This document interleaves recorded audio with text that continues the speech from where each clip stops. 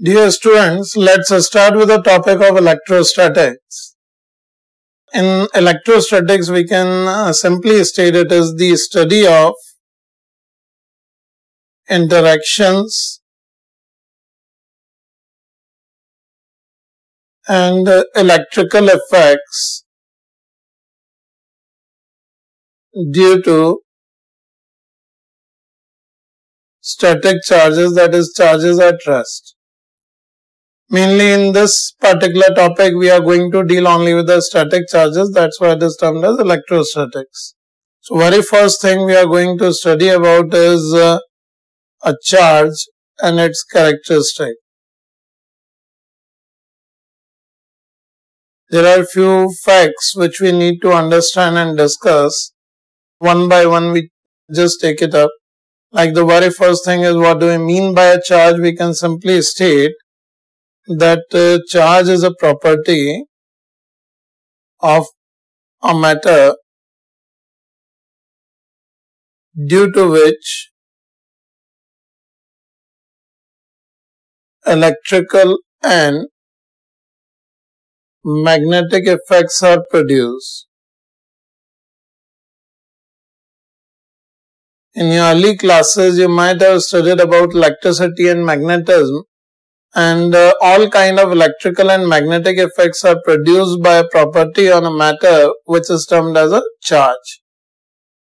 We know well that uh, all matter are composed of uh, atoms. So we can simply state all matter in our surrounding which we can see, we can simply say all matter composed of atoms and if we talk about an atom, we can simply state an atom consists of two parts. One is its nucleus and other is its extranuclear part in which there are electrons.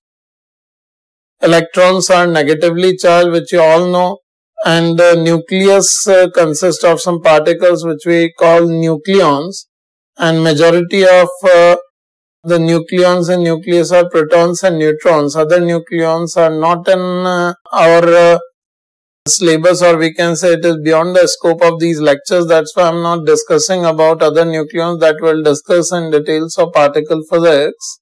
And uh, you know well that protons are positively charged and neutrons are neutral.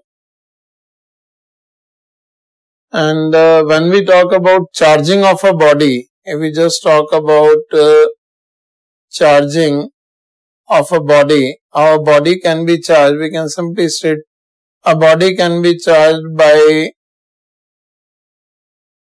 addition or removal of electrons from it.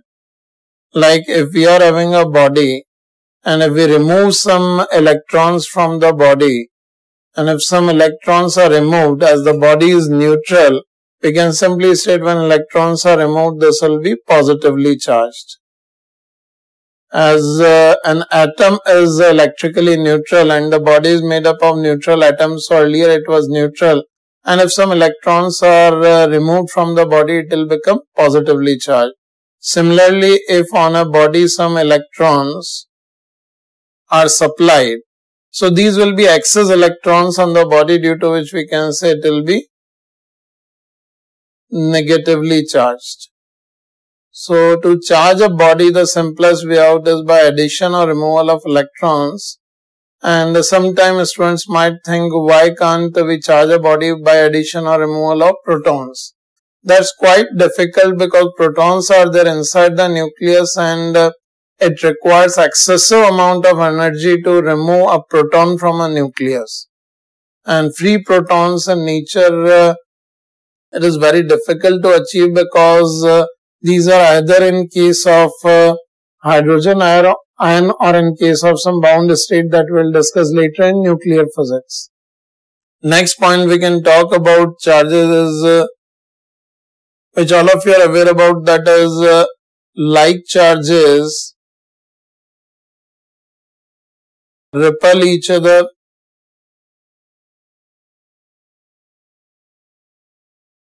and unlike charges attract each other. There are some more properties. Let's continue on the next sheet. Another fact about charges we can write down as uh, that is charge is a scalar quantity. It does not have any direction, only magnitude we talk about. Another important point about charge is charge is always quantized. In nature, when we talk about uh, transfer of charge, we must uh, keep in mind that it is uh, not continuous. Whenever we supply charge from one body to another, it must be in terms of electrons like if uh, there is a body and we remove some electrons from the body, it attains a charge Q. Q is the symbol we denote.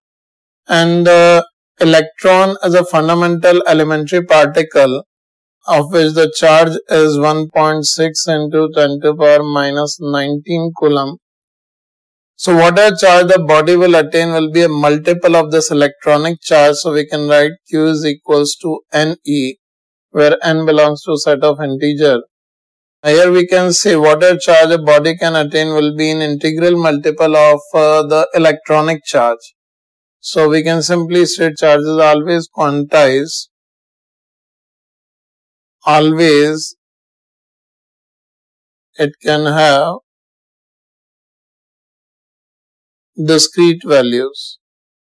So always remember on physical object whenever charge is supplied it must be an integral multiple of electronic charge only. That's why we can say it is not continuous, it is quantized. Another point about charge we can say that uh, charge is conserved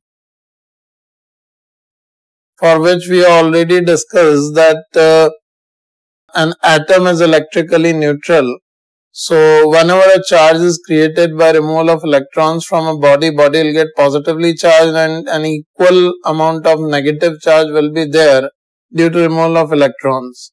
So we can simply state charges conserved, it can neither be created nor destroyed. So we can say always equal quantity of positive and negative charges can appear or disappear. That means whenever charge neutralizes its equal quantity of opposite charge, then charges will disappear in equal quantity whenever these are generated like the example we have discussed that will always be in equal quantity only. And uh, another important point about charges we can say charge is invariant for which we can say charge does not depend on reference frame in whichever reference frame you just have a look on a charge body, its charge always appear to be same. In general, we are talking about.